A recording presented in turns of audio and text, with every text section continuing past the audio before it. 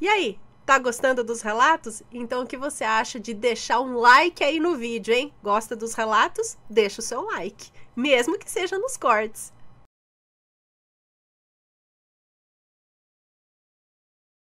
Crianças do passado.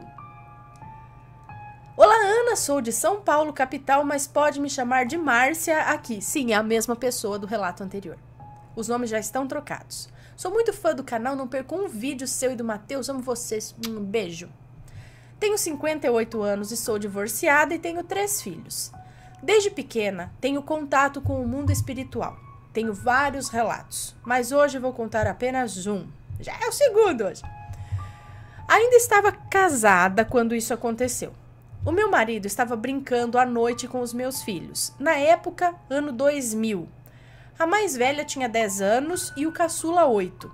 Era noite e estava muito frio. E o meu marido brincava de fantasma com as crianças. E ainda eu falei: não brinca dessas coisas que atrai. Mas eles não ligaram e continuaram brincando. E o meu marido continuava vestindo um lençol branco e assustava eles, que riam e tinham medo ao mesmo tempo. Aí já era quase 11 da noite e eu falei: chega disso, passou da hora de dormir. E aí meus filhos foram se deitar. Meu filho foi para o quarto dele e a minha mais velha foi para o dela. Minha caçula ainda era bebê e dormia no berço no meu quarto. Apagamos as luzes e fomos nos deitar. Mas acordei tipo umas duas horas da manhã e ouvi uns risos baixinhos e cochichos. E ainda pensei: caramba, essas crianças ainda estão acordadas. E abri a minha porta, abri a porta do meu quarto para dar aquela bronca neles. Ana, quando abri a porta, paralisei. Tinha uma menina com um vestido rosa até os pés, com um sapatinho preto e cabelos pretos feito tranças. E simplesmente quando me viu, saiu correndo e rindo e entrou no quarto da minha filha e com ela estava um menino de calças curtas com suspensórios, como as crianças usavam no tempo antigo. E ele ainda tinha um boné preto na cabeça. Também, quando me viu, saiu correndo rindo e entrou no quarto do meu filho. Criei coragem e acendi a luz do corredor e fui olhar os meus filhos. Minha filha dormia e o meu filho também. E aquelas crianças com vestes antigas simplesmente sumiram. Corri para o meu quarto, acordei meu marido e contei para ele.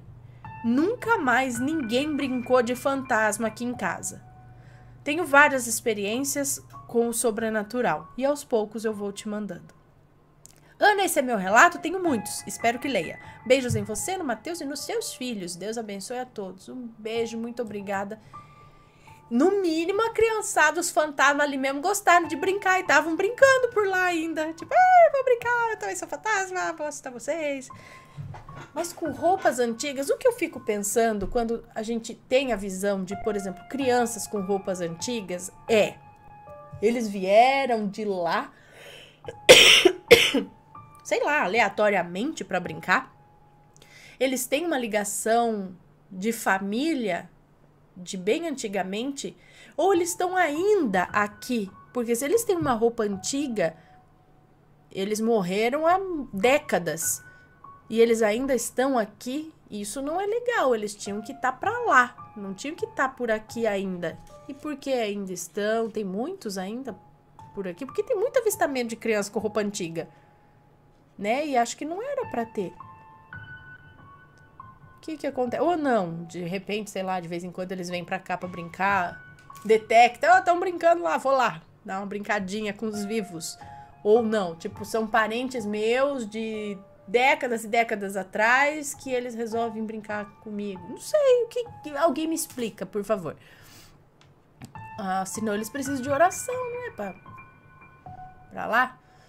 Um beijo para você, muito obrigada pelo relato. Me conta, gostou do relato? Então o que você acha de deixar um comentário aqui embaixo, sempre com respeito, por favor, além do like, é claro.